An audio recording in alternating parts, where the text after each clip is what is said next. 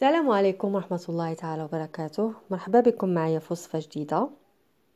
اقتراحي اليوم غادي يكون كريب مالح بالشوفان بحشوة مالحة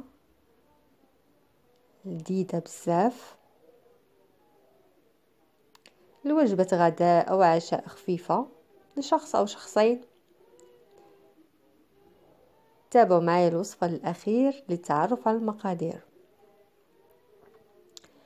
بالنسبة للمقادير حاجتنا هنا في كاس عنبه ديال الحليب دافي.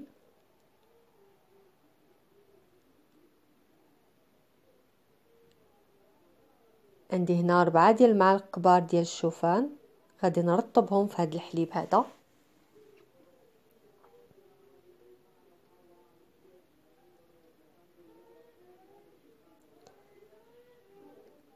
كنغطي خليط الحليب والشوفان ونخليه يرطب. بين ما وجدت الحشوة ديالي. بالنسبة للحشوة حاجتنا في جوج ديال المعالق حتى ثلاثة د المعالق كبار ديال زيت الزيتون كنديرهم على عافية مهيلة يسخنوا ومن بعد كنزيد زليفة صغيرة ديال بوارو مقطع مكعبات صغار.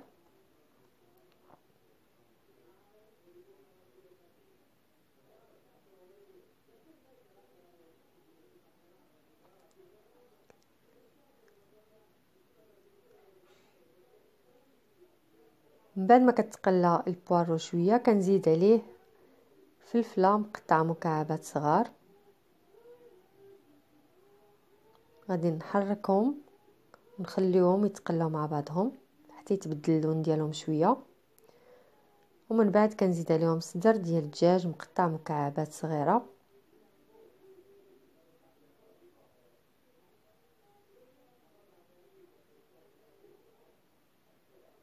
كنزيد الملح حسب الذوق. شوية ديال البزار. شوية ديال الكمون. ومعلقة صغيرة عامرة ديال التحميرة. شوية ديال البازيليكو اللي هو الحبق أو الريحان.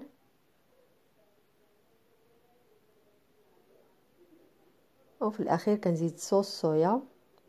غير نص معلقة صغيرة. هذه اختيارية إلا ما كانش بلاش ولكن كتزيد لذه عجيبة لهاد الحشوة هذه أنا كنصح ديروها.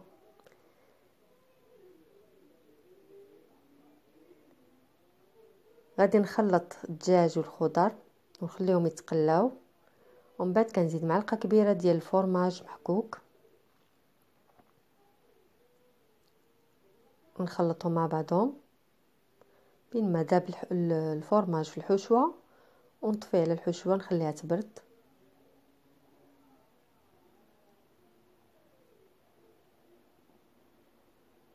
ندوزو نكملو الوصفة. بالنسبة للكريب حاجتي في جوج بيضات. هنا عندي الشوفان اللي ترطب في الحليب هذا هو الشكل ديالو. غادي نخليه بين ما نطرب البيض عاد نزيدو. باش يسهل عليا نخلطو مع البيض.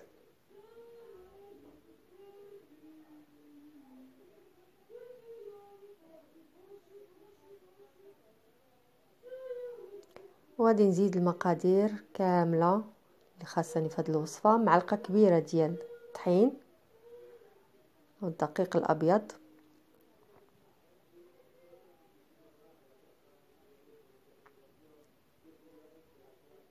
شوية ديال الملح شوية ديال البزار شوية ديال البازيليكو ممكن تعوضوا بالزعتر. حتى هو كيعطي مذاق زوين في هذه الوصفة هذه وفي الأخير كنزيد راس معلقة ديال خميره ديال الحلوى غادي نخلط هاد المقادير مع بعضهم غير بالطراب اليدوي حتى ما يبقاوش يبانوا دوك الحبيبات ديال الشوفان والطحين. وها الخليط ديالنا واجد. ما كيحتاج لا يخمر لا والو غادي ندوز باش نسخن واحد شوية ديال الزيت في شي مقله خاصة بالكريب أو البغرير.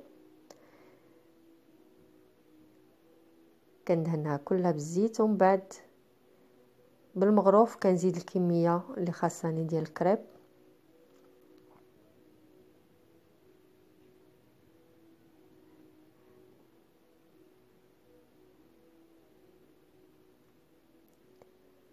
غادي نخلي الكريب ديالي نشف من الطبقة الفوقانية. ما يبقاش سائل.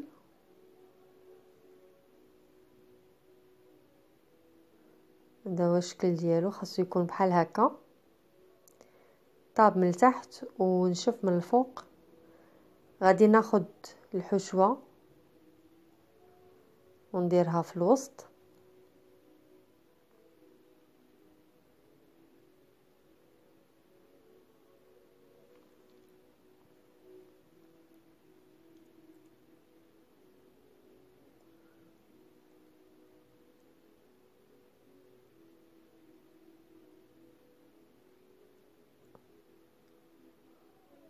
ومن بعد كنزيد الفرماج ديال الساندويش هكا على شكل طولي.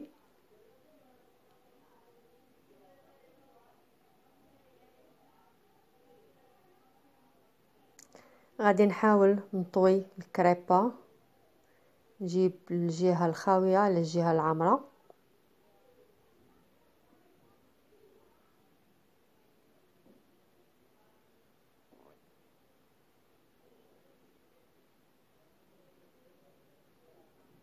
غادي نطويها بحال هكا ومن بعد كنضغط عليها في الجناب باش تلصق. معليش يخرج هذاك الفرماج من الجناب كيعطي منظر أحسن ملي كيذوب كيجي كيشهي. غادي نقلبها على الجهة الأخرى. وأنا كنضغط. والوصفه ديالنا تقريبا واجدة.